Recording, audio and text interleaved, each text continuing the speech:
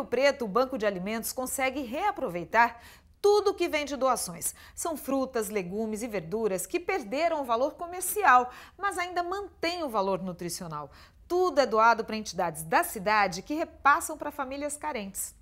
O trabalho começa no SEASA de Rio Preto. Todos os dias, os voluntários vão até o local e recolhem frutas, legumes e verduras. São caixas de alimentos que perderam o valor comercial, mas podem ser consumidos porque mantêm o valor nutritivo. São todos alimentos nutricionalmente é, recomendados para que as pessoas, para o consumo humano, né? Não tem nada que não possa ser consumido, não.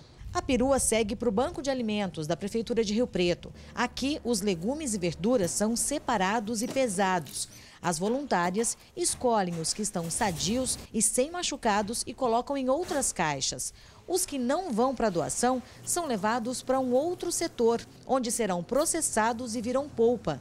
Nada é perdido aqui. São alimentos em natura, são alimentos é, próprios para o consumo, alimentos que enriquecem tanto a, a, nutrição quanto a vida da pessoa. Né? Só no mês de setembro, 20 toneladas de verduras, legumes e frutas em condições de consumo deixaram de ir para o lixo e foram destinados a famílias carentes. Por semana, são atendidas cerca de 2.300 famílias e 100 instituições sociais. Depois de separados os alimentos, eles são levados para várias instituições da cidade.